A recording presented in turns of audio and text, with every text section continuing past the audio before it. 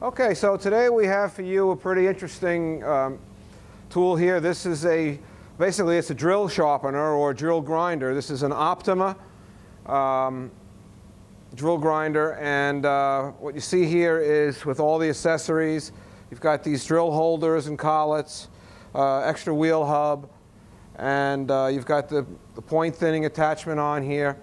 So the whole idea of this thing is that uh, you can uh, inspect your drill after you ground it by putting it up against this lens here, which is uh, calculated uh, to give you the best focal point.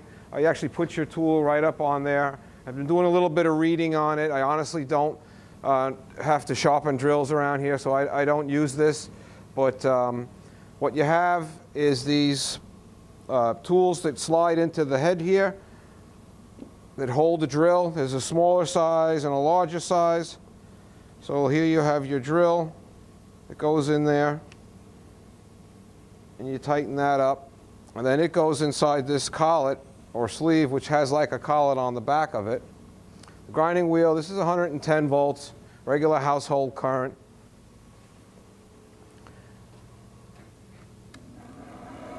When we turn that on, we start our wheel up. Now over here we have this came on. This is a handheld, not a handheld, but it's driven off the main wheel. It rubs against the back if you have it set right. Um, and this is a foot, a foot pedal or a foot switch that it's easier for me just for now to use it like this. This engages the mechanism here that locks this. But once I come off into the inspection area here, that'll shut off. So you want to bring your tool almost right up to the, the glass and you can actually see it in your window here um, after you've sharpened it. Now this can all be set to be at a perfect focus. This whole front nose here seems to be adjustable and the inner uh, very, very fine thread on this. So the idea is to uh, replace this lens once in a while because it's just a glass, but it's made to put the tool up right up against, and that's when you're going to get the cleanest picture of your tool. So now once you've done that, the idea is that you can swing um, excuse me,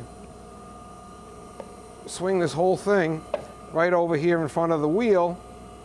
This has to be locked in, of course, and you have a, a two position. You push this in and you rotate it 180 degrees and you, you, you grind the two flutes. It, it can be indexed.